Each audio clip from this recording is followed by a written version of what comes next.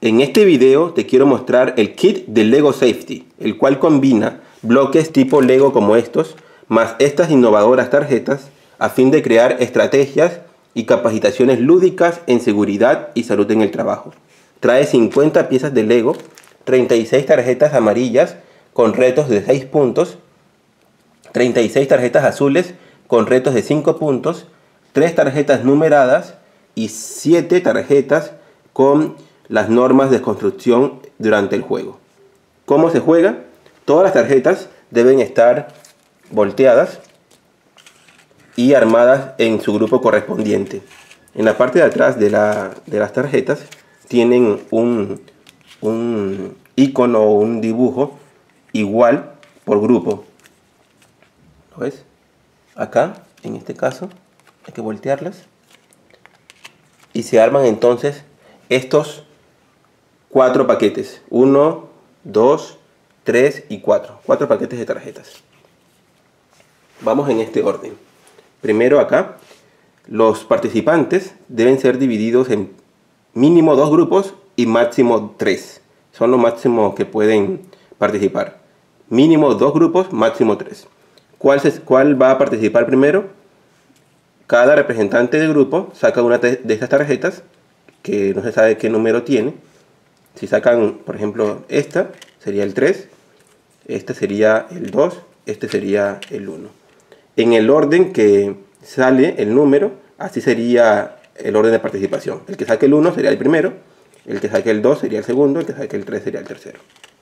Luego deben tomar una de estas tarjetas. Allí estas tarjetas les va a decir cómo van a armar la figura con los legos.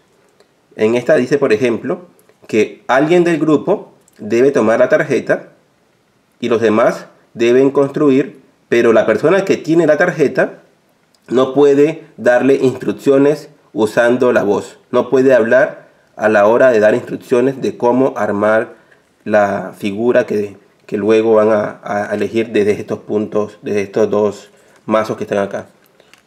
Por ejemplo, luego si él saca esta tarjeta, luego él escoge una de, los mazos, ya sea que quiera hacer 5 puntos o se quiera hacer 6 puntos. La de 5 puntos es más fácil que la de 6 puntos. Si ven, este es un poco más sencillo que este.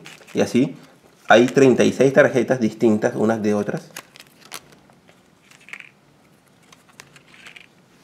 La persona que, que dirige no puede estar hablando. Él tiene esta carta y, le, dirige a los demás para que armen esta figura con los legos que tienen acá, pero no puede hablarles. Tiene que hacerle señas, va a tener que ingeniárselas, pero no va a poder hablar. Con, si sacara la siguiente tarjeta, por ejemplo esta, dice que los constructores pueden mirar la, la tarjeta, pero no van a poder usar sus pulgares. Durante la construcción no van a poder usar los dedos pulgares. En esta tercera tarjeta, los constructores no pueden mirar. El líder del equipo podrá mirar, pero los constructores no.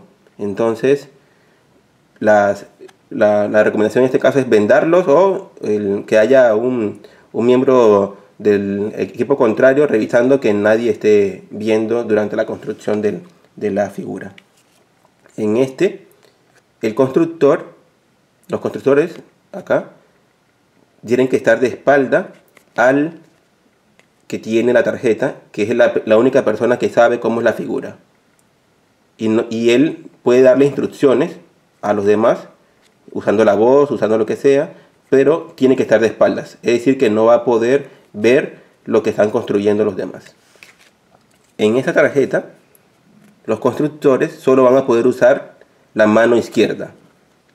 Van a tener que, inmovilizar su mano derecha, van a tener que dejar de usarla y solo van a poder construir con una sola mano, la mano izquierda. En esta tarjeta, el, líder del equipo va a poder mirar la tarjeta y no va a poder ver lo que construyan sus, sus compañeros. Pero, y las instrucciones que dé cuando los compañeros le pregunten, él va a poder responder sí o no, correcto o incorrecto. Por ejemplo, necesitamos eh, cuántas piezas, eh, cinco, él va a decir correcto. O bueno, de esas piezas una tiene un, un borde inclinado y dos pines, sí, correcto, y así. Y en la última, todos van a poder ver la tarjeta y todos van a poder construir. Es la más fácil que hay. Después de, elegir el turno, elegir la forma en que lo van a construir, entonces vienen a los mazos de 5 o de 6 puntos y eligen la figura que deben construir. Estas figuras coinciden con las fichas que nosotros les estamos suministrando. El tamaño es exactamente el mismo, miren, encaja perfectamente acá en, en, las figuras.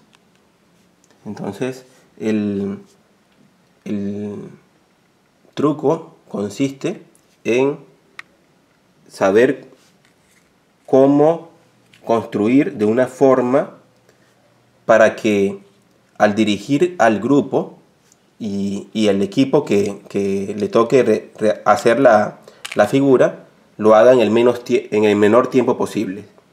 Al final viene la reflexión. ¿Cómo se sintieron usando una sola mano? ¿Cómo se sintieron sabiendo que, que, no podían ver cuál era el resultado? ¿Cómo se sintieron eh, trabajando de espaldas? ¿Cómo se sintieron trabajando sin ver? ¿Cómo se sintieron trabajando sin los pulgares, sin hablar?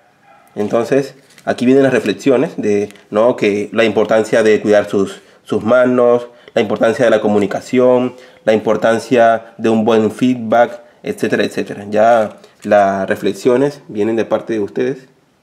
La idea es que los trabajadores expresen cómo se sintieron y vean cómo el trabajo tan sencillo de armar un Lego se puede dificultar con estas situaciones de típicas de un accidente o de, un, de una eh, mala instrucción durante el trabajo o no seguir adecuadamente las, las comunicaciones que, que recibimos de nuestros jefes, etcétera, etcétera. Ya viene allí la imaginación de parte de ustedes para que los trabajadores puedan ser guiados y, y que las reflexiones sean las adecuadas para que el mensaje que ustedes quieran transmitir cale de una forma divertida y vivencial.